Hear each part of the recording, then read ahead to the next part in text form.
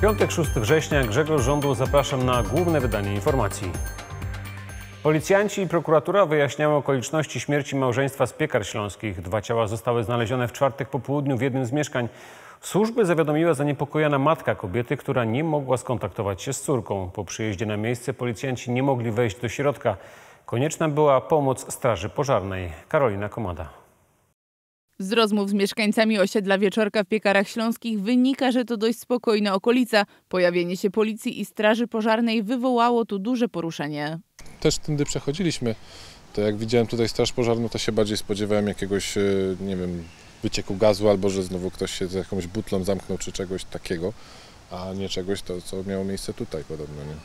A to, co miało miejsce, jest wciąż wyjaśniane przez śledczych. Przed godziną 18 do dyżurnego piekarskiej jednostki zgłosiła się kobieta, która martwiła się o, o swoją córkę. Nie miała z nią kontaktu od dłuższego e, czasu. Policjanci ustalili miejsce zamieszkania tej kobiety, e, udali się pod ten adres.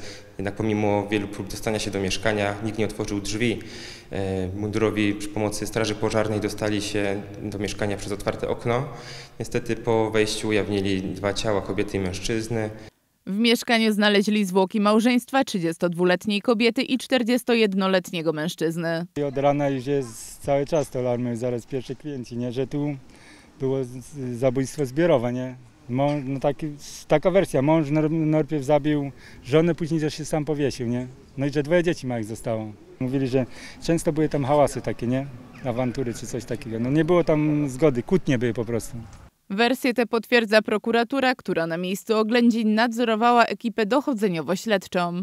Ze wstępnych ustaleń wynika, mm, że doszło do zabójstwa kobiety, mm, którego miał się dopuścić jej mąż, e, który następnie popełnił samobójstwo. Ciała zostały zabezpieczone e, i przewiezione do Zakładu Medycyny Sądowej w Katowicach, e, gdzie zostanie zlec- zlecona mm, sekcja zwłok Sekcja zwłok ma wyjaśnić czas, przyczynę oraz mechanizm zgonu małżonków. Szacuje się, że ponad 3000 zachorowań na nowotwory w Polsce jest związanych z zakażeniem wirusem HPV. Brodawczak ludzki zaliczany jest do najczęściej występujących u człowieka infekcji przenoszonych drogą płciową. Specjaliści zalecają, żeby o profilaktykę zadbać już we wczesnym wieku dziecka. 1 września ruszył powszechny program szczepień we wszystkich szkołach podstawowych. Uczniowie pomiędzy 9 i 14 rokiem życia mogą wykonać je bezpłatnie. Na zakażenie wirusem HPV narażony może być praktycznie każdy, bo blisko 80% populacji doświadcza z nim kontaktu. Późno wykryte zakażenie może doprowadzić do raka szyjki macicy, sromu i pochwy u kobiet, a w przypadku mężczyzn do nowotworów prącia odbytu, a także głowy i szyi u obojga płci. Nawet ponad 99% przypadków właśnie raka szyjki macicy związane jest z zakażeniem wcześniejszym wirusem HPV.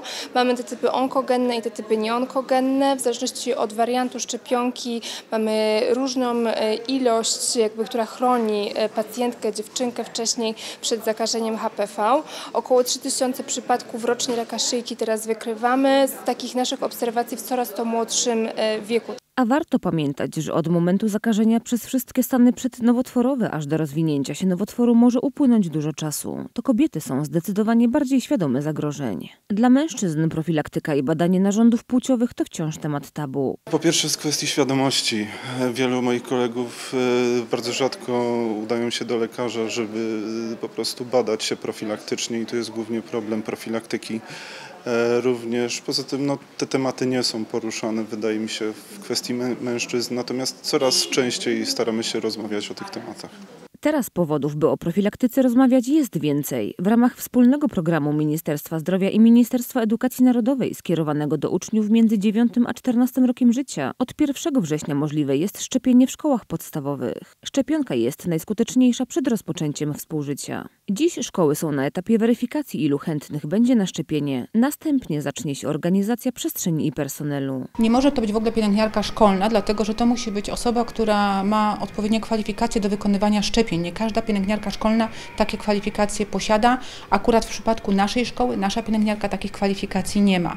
Więc wówczas będę musiała podpisać porozumienie e, z jakimś ośrodkiem medycznym, e, no ale wtedy musi przyjść nie tylko e, pani, która będzie szczepiła, ale również musi przyjść lekarz. Szczepienie przeciwko HPV dostępne jest zarówno dla dziewcząt, jak i dla chłopców, a na udział w nim dziecka musi wyrazić zgodę rodzic lub opiekun. Szczepienia dla uczniów siódmych klas szkół podstawowych i pierwszych ponadpodstawowych podstawowych od 2020 roku prowadziły już Katowice. Zainteresowanie nimi było wówczas spore.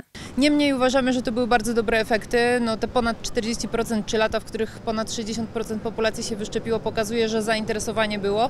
Z tego powodu też zresztą włączyliśmy możliwość zaszczepienia chłopców, bo pojawiały się właśnie takie głosy i prośby.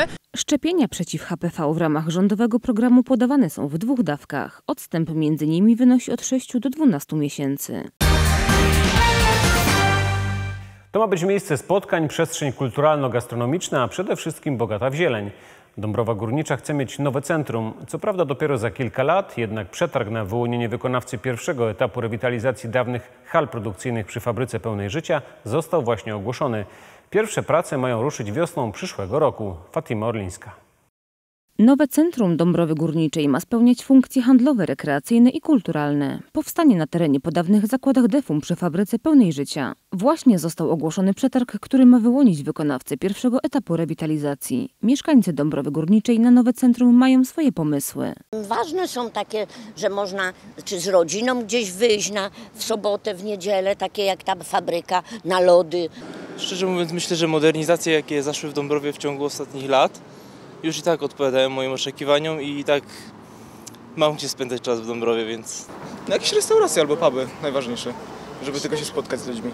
Miejscem szczególnym w projekcie ma być zielony rynek stanowiący serce nowego centrum Dąbrowy Górniczej. Wokół niego znajdą się przestrzenie użytkowe w zrewitalizowanych halach po dawnej produkcji obrabiarek. W ramach pierwszego etapu w jednej z nich znajdzie się przestrzeń do organizacji koncertów, wystaw i targów, ale to nie wszystko. Będzie taka e, przestrzeń e, biurowo-konferencyjna, która posłuży do tego, żeby e, tutaj powstało Centrum Integracji Międzypokoleniowej i Centrum Aktywności Obywatelskiej, a zatem te agenty Urzędu Miejskiego w Dąbrowie Górniczej, które dzisiaj funkcjonują w różnych innych miejscach, zresztą Centrum Integracji Międzypokoleniowej jeszcze nie funkcjonuje, więc my chcemy tutaj tą część, ten ciężar społeczny działalności Dąbrowy Górniczej przenieść w to miejsce. Pierwszy etap rewitalizacji ma kosztować ponad 78 milionów złotych, a na realizację fabryka pełna życia pozyskała środki z Funduszu Sprawiedliwej Transformacji. Pierwsze prace mają ruszyć wiosną przyszłego roku, a obiekt ma zostać oddany do użytku w ciągu 21 miesięcy. Koncepcję nowego centrum Dąbrowy Górniczej opracowała grupa architektów ze Szczecina, która obecną przestrzeń uważa za niesprzyjającą budowaniu relacji pomiędzy ludźmi. Przede wszystkim chodzi o, o pewną skalę tej przestrzeni, o, o jej proporcje,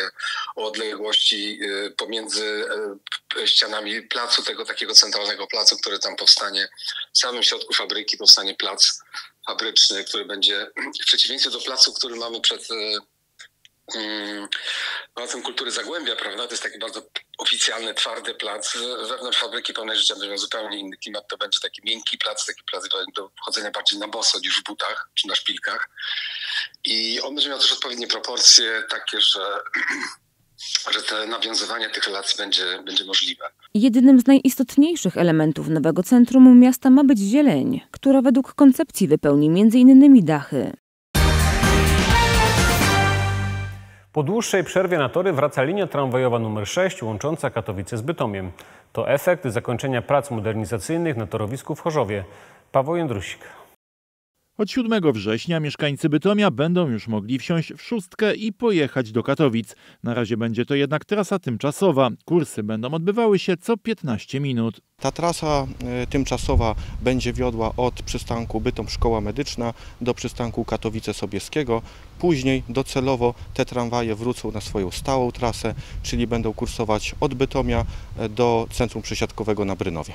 Pierwszy kurs tramwaju zaplanowano na godzinę 4.27, a ostatni na 23.23. Pasażerowie muszą jednak pamiętać, że tramwaj nie będzie obsługiwał przystanku Chorzów Muzeum Hutnictwa. Linia będzie kończyć kurs na przystanku Katowice Sobieskiego. Nie pojedzie przez rondo do rynku, bo trwa tam jeszcze remont torowiska. To znacząco usprawni dojazd mieszkańców e, do Katowic, e, szczególnie, że w trakcie przebudowy e, jest teraz Chorzów i w trakcie przebudowy będą teraz Katowice, więc będzie to dodatkowe usprawnienie dla tych mieszkańców, którzy właśnie dojeżdżają do pracy. Jednocześnie w związku z uruchomieniem linii numer 6 zawieszone zostanie kursowanie tymczasowej linii numer 10, która obsługiwała tę samą trasę na odcinku Bytom-Chorzów. Na Górnym Śląsku utopca nie trzeba nikomu przedstawiać. Kiedyś straszono nim dzieci, ale później ta wymyślona postać została trochę oswojona. Na tyle, że zaczęła pojawiać się w przestrzeni publicznej. Na rynku w Bieruniu od kilkudziesięciu lat stoi fontanna z utopcami, która właśnie zaczęła jednak przeszkadzać grupie mieszkańców. O co chodzi? O tym Paweł Jędrusik. Do Bieruńskiego Urzędu wpłynęła petycja podpisana przez kilkadziesiąt osób, które domagają się zaprzestania promowania wizerunku utopca i usunięcia rzeźb przedstawiających go na rynku. Dla wielu mieszkańców to absurd. Krasnoludki w ogródkach to są złe, a mamy je nie. Dzieci się cieszą. A cieszą. w Poznaniu, A, a smok w wawelski. Warszawie, No właśnie, a, a smok smok. wawelski. Ta mała fontanna na rynku w Bieruniu stoi tu już od kilkudziesięciu lat. Przecież to jest nasza historia tego Bierunia. To jest historia Bierunia. Przecież Bieruń to były stawy, to były hodowle ryb kiedyś. To jest, a te panie, które się zajęły tym, to chyba coś nie po kolei. Jakim złym? Nie, to jest niemożliwe. Niedobrze. Absurdalny pomysł? Tak, bardzo. Autorem petycji nie jest żadne stowarzyszenie, a mieszkańcy, którzy zebrali podpisy. Trudno jednak znaleźć informację, kto zainicjował akcję. W petycji autorzy wskazują, że rzeźby mogą być realnym zagrożeniem duchowym dla mieszkańców Bierunia i są niezgodne z katolickimi przekonaniami, bo według wierzeń utopiec był demonem wodnym, ale według innych źródeł mógł też kojarzyć się pozytywnie.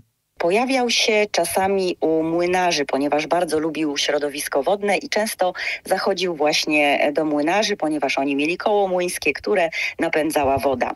I on generalnie pomagał tym młynarzom w ich pracach, ale bywał czasami też złośliwy. Jeżeli ktoś był źle ustosunkowany do utopca albo zrobił mu jakąś przykrość, to utopiec niestety też potrafił być bardzo przykry i złośliwy. Czy petycja wynika ze złośliwości jej autorów? Trudno dociec. Tak czy inaczej, muszą się nią teraz zająć władze miasta. To reguluje ustawa, więc petycja zostanie rozpatrzona w ustawowych terminach zarówno przez, przez Urząd Miejski, jak i Radę Miejską, bo wpłynęła również do, do, do Rady Miejskiej. Yy, No i będziemy musieli udzielić odpowiedzi, yy, odpowiedzi tą petycję składającym. Można się spodziewać, jaka ta odpowiedź będzie. Być może trzeba będzie trochę lać w niej wodę, żeby utopca uratować. Taki był piątek w informacjach. Miłego weekendu Państwu życzę i do zobaczenia w poniedziałek.